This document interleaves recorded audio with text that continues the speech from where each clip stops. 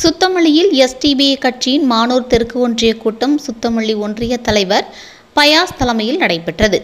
ஒன்றிய செயலாளர் ஜாகிர் ஹுசைன் வரவேற்புரையாற்றினார். மண்டல செயலாளர் கனி கலந்து கொண்டு சிறப்புரையாற்றினார். கூட்டத்தில் கட்சியின் துவக்க தினம் முன்னிட்டு கொடியேற்றி பொதுமக்களுக்கு நலத்திட்ட முகாம் நடத்துவது அரசியல் பயிலரங்கம் நடத்துவது உள்ளிட்ட பல்வேறு தீர்மானங்கள் நிறைவேற்றப்பட்டன.